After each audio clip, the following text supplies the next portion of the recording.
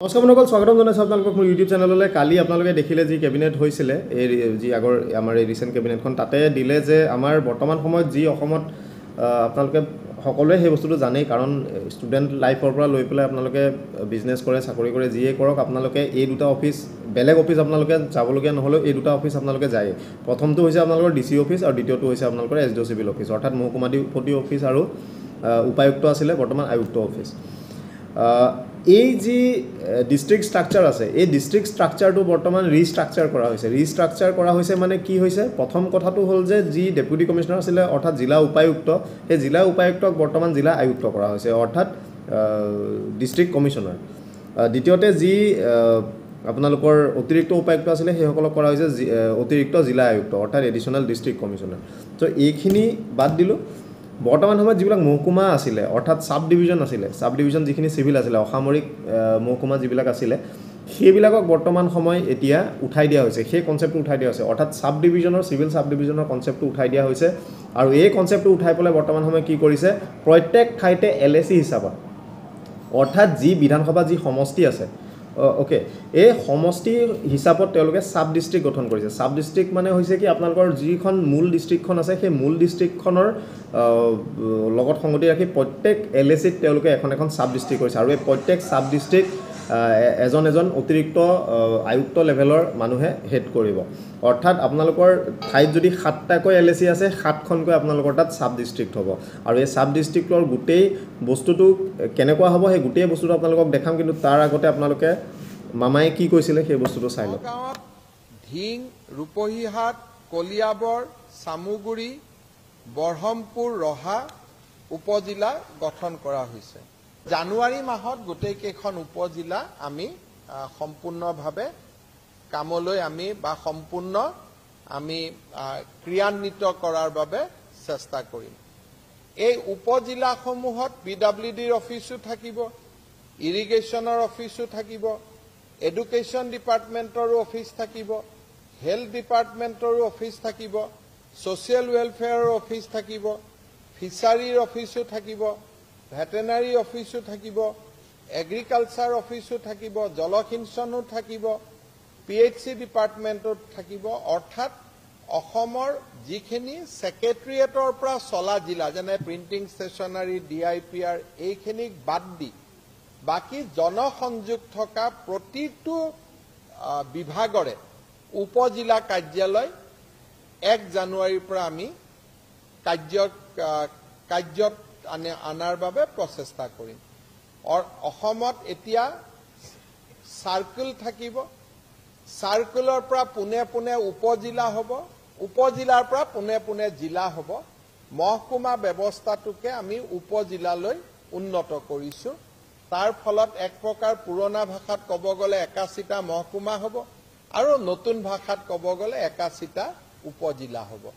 গতিকে আজিৰ কেবিনেটত এই ধৰণৰ এশতম কেবিনেটত আমি সিদ্ধান্তসমূহ গ্ৰহণ কৰোঁ। যে কোন কোন জেগাত কিমানখন চাব ডিষ্ট্ৰিক্ট হ'ব সেই গোটেই লিষ্টখন আমি চাই লওঁ। তাৰপিছত ইয়াৰ এডমিনিষ্ট্ৰেটিভ ষ্ট্ৰাকচাৰটো তাৰ হাইৰাৰ্কিটো আমি চাম।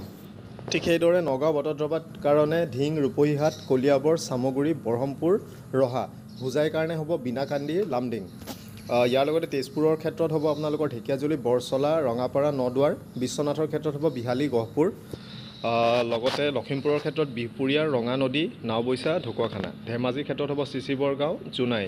তিনিচুকীয়াৰ ক্ষেত্ৰত হ'ব শদিয়া ডুমডুমা মাৰ্ঘেৰিটা ডিগবৈ মাকুম। ডিব্ৰুগড়ৰ ক্ষেত্ৰত হ'ব চাবুৱা লাহোৱাল খোৱাং দুলীয়াজান টিংখং নাহৰকটীয়া। সোণাৰীৰ ক্ষেত্ৰত হ'ব মাহমৰা আৰু শিৱসাগৰৰ ক্ষেত্ৰত হ'ব ডিমৌ নাজিৰা। ইয়াৰ লগতে আপোনালোকৰ যোৰহাটৰ ক্ষেত্ৰত হ'ব তিয়ক মৰিয়নি তিতাবৰ গোলাঘাটৰ ক্ষেত্ৰত দেৰগাঁও বোকাঘাট খুমটাই আৰু সৰুপথাৰ। বোকাঘাটো বৰ্তমান সময়ত মহকুমা আছিলে কিন্তু এতিয়া তাক চাব ডিষ্ট্ৰিক্টলৈ উন্নীত কৰিছে য'ত এ ডি চি পৰ্যায়ৰ এজন প্ৰত্যক্ষ এজন অফিচাৰ থাকিব। শিলচৰৰ ক্ষেত্ৰত হ'ব লক্ষীপুৰ উধাৰবন কাটিগড়া বাৰখোটা সোণাই আৰু ধলাই। হাইলাকান্দিৰ ক্ষেত্ৰত হ'ব আলগাপুৰ কাটলিচেৰা আৰু কৰিমগঞ্জ নৰ্থৰ ক্ষেত্ৰত হ'ব কৰিমগঞ্জ চাউথ পাথাৰকান্দি আৰু ৰামকৃষ্ণ নগৰ। তো এতিয়া চাওক ধুবুৰী জিলাত চাব ডিষ্ট্ৰিক্ট কি কি হ'ব? গোলকগঞ্জ গৌৰীপুৰ বীৰসিং জাৰুৱা আৰু বিলাচীপাৰা এইকেইখন হৈছে ধুবুৰীৰ চাব ডিষ্ট্ৰিক্ট দ্বিতীয়তে গোৱালপাৰা ইষ্টত আপোনালোকৰ হ'ব জলেশ্বৰ গোৱালপাৰা ৱেষ্ট আৰু দুধনৈ। বঙাইগাঁৱত হ'ব অভয়াপুৰী আৰু সৃজনগ্ৰাম। বৰপেটা হ'ব আপোনালোকৰ ভৱানীপুৰ চৰভোগ মাণ্ডিয়া। বজালিত হ'ব আপোনালোকৰ চেঙা পেকা বেতবাৰী হাজো শুৱালকুছিত হ'ব চামাৰীয়া বকু ছয়গাঁও পলাশবাৰী ৰঙিয়া আৰু কমলপুৰ। এইখিনি হাজো শুৱালকুছিত সোমাব। গুৱাহাটী চেণ্ট্ৰেলত সোমাব দিছপুৰ ডিমৰীয়া নিউ গুৱাহাটী আৰু জালুকবাৰী। নলবাৰীত সোমাব বৰক্ষেত্ৰী আৰু টিহু মঙলদৈত সোমাব চিপাঝাৰ দলগাঁও মৰিগাঁৱত হ'ব জাগিৰোড লাহৰীঘাট। আপোনালোকৰ যিখিনি লিষ্ট কমপ্লিট লিষ্টখন আপোনালোকে মনত ৰাখিব। এইখন বাইহাৰ্ট আপোনালোকে কৰি থওক আপোনালোকৰ এ পি এছ চিত হওক আপোনালোকৰ এ ডি আৰ ইত হওক প্ৰত্যেক পৰীক্ষাৰ ক্ষেত্ৰত আপোনালোকৰ লাগিব। এনেকুৱা প্ৰশ্ন আহিব পাৰে যে এইখন জিলাত কোনকেইখন চাব ডিষ্ট্ৰিক্ট আছে বা এই চাব ডিষ্ট্ৰিক্টখন কোনখন জিলাৰ অধীনত পৰে সেই গোটেইবিলাক বস্তু আপোনালোকক লাগিব। চ' এতিয়া এডমিনিষ্ট্ৰেটিভ মেকানিজিমটো আমি চাই লওঁ তেতিয়া ভালকৈ বুজিব। চাওক এইখন হৈছে আমাৰ যি বৰ্তমান এতিয়া হাইৰাৰ্কি হ'ব ডিষ্ট্ৰিক্টছৰ এইখন আপোনালোকে ভালকৈ চাই লওক। চি এম অফিচৰ ফালৰ পৰা এইখন আহিছে। ডিচেণ্ট্ৰেলাইজ ডিচিশ্যন মেকিং প্ৰচেছৰ কাৰণে এই ছিষ্টেমটো কৰা হৈছে। চি এম ইয়াতে কৈছে যে decentralize delivery of citizen centric service deconcentration of congestion of functions at the district level enabling district administration to gradually shift the focus towards core economic function লগতে better convergence among the line department at sub district level uh close oversight and resolution of issues relating to development program scheme at sub develop district level so' এতিয়া আপোনালোকৰ যিকোনো কাম এটা কৰিব হ'লে চাব ডিভিজনৰ পৰা ধৰি লওক ডিষ্ট্ৰিক্টলৈকে যাব লাগে। চ' এই ডিষ্ট্ৰিক্টলৈকে যাওঁ ডিষ্ট্ৰিক্টলৈকে যাওঁতে যাওঁতে ধৰি লওক বহুখিনি প্ৰব্লেম হয়। আৰু কাম কাজবিলাক যিহেতু ডিষ্ট্ৰিক্টৰ পৰা এপ্ৰুভ হ'ব লাগে কিন্তু এতিয়া সেই বস্তুটো নাথাকিব ডিচেণ্ট্ৰেলাইজ কৰিছে এতিয়া সেইটো চাব ডিষ্ট্ৰিক্ট লেভেলতে সেই কাম কাজখিনি কৰিব পাৰিব। কাৰণ প্ৰত্যেক চাব ডিষ্ট্ৰিক্টতে নিজৰ নিজৰ তেওঁলোকৰ অফিচ থাকিব। চ' এতিয়া ষ্ট্ৰাকচাৰটো আপোনালোকে চাওক। ডিষ্ট্ৰিক্টৰ ক্ষেত্ৰত আপোনালোকৰ ডিষ্ট্ৰিক্ট কমিশ্যনাৰ থাকিব। ডিষ্ট্ৰিক্ট কমিশ্যনাৰ আপোনালোকৰ এডমিনিষ্ট্ৰেটিভ হেড হ'ব গোটেই ডিষ্ট্ৰিক্টখনৰ ক্ষেত্ৰত। ছুপাৰভাইজৰী অথৰিটি থাকিব। তেওঁ সকলো বিভাগৰ ছুপাৰভাইজাৰ তেওঁ হ'ব। লগতে তেওঁ ট্ৰান্সফাৰ কৰিব পাৰে। গ্ৰেড থ্ৰী গ্ৰেড ফ'ৰ মানুহখিনি তেওঁলোকে ডাইৰেক্টলি ট্ৰান্সফাৰ কৰিব পাৰিব ডি চি এ উইদিন ডিষ্ট্ৰিক্ট আৰু যিখিনি গেজেটেড অফিচাৰ্ছ আছে গেজেটেড অফিচাৰখিনি তেওঁ in consultation with the guardian minister of the district তেওঁ গেজেটেড অফিচাৰখিনিও নিজৰ ডিষ্ট্ৰিক্টৰ ভিতৰত ট্ৰান্সফাৰ কৰিব পাৰিব।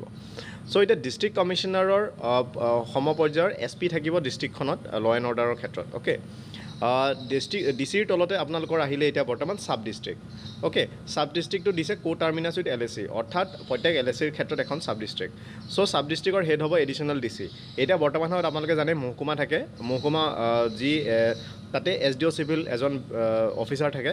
এছ ডি অ' চিভিলো থাকিব পাৰে কেতিয়াবা এ ডি চি পৰ্যায়ৰ ব্যক্তি এজনক ইনচাৰ্জ কৰি পেলাই চাব ডিভিজনৰ ইনচাৰ্জ হিচাপে দিয়া থাকে। কিন্তু বৰ্তমান সময়ত সেই কনচেপ্টটো উঠি যাব ডাইৰেক্ট এডিশ্যনেল ডি চি এজন এ ডি চি পৰ্যায়ৰ ব্যক্তি এজনক এডমিনিষ্ট্ৰেটিভ হেড হিচাপে চাব ডিষ্ট্ৰিক্টত এপইণ্টমেণ্ট দিয়া যাব। আৰু ছাপ'জ নগাঁৱতে ক'লোঁ যে সাতখন চাব ডিষ্ট্ৰিক্টৰ সাতজন A D A D C মহকুমাধিপতি হিচাপে ধৰি লওক তেনেকুৱা এটা চাৰ্জত তেওঁলোক থাকিব।